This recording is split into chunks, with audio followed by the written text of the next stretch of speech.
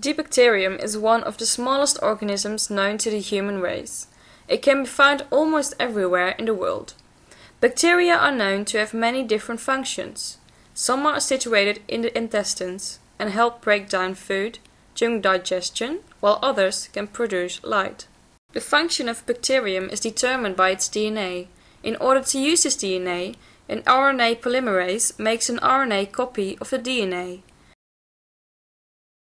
This RNA can then be read by a ribosome, which finally makes a protein based on it.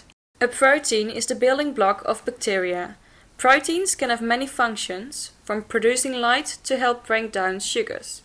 To let the bacterium produce our own protein, we have to introduce our own DNA in the bacterium.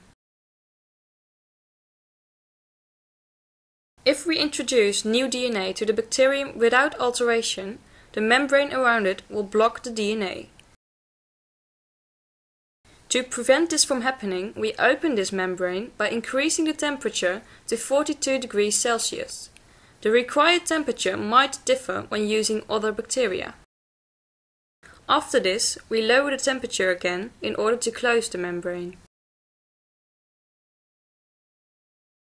Once again, the RNA polymerase makes an RNA copy of the DNA. A ribosome reads the RNA and creates our new protein.